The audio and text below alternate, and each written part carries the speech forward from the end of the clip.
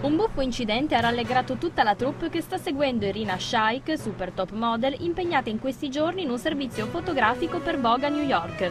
La modella stava posando per alcuni scatti sotto la pioggia assieme a due giovanissimi modelli che nonostante la tenera età non hanno perso l'occasione per toccare uno dei lati B più belli al mondo. Irina ovviamente è scoppiata a ridere proprio quando avrebbe dovuto posare con fare serio e regale.